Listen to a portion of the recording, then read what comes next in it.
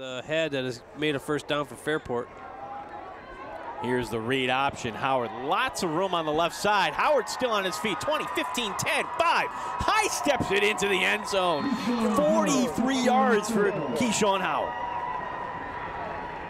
Keshawn Howard's second read option touchdown where he's kept it. Once he gets to the outside.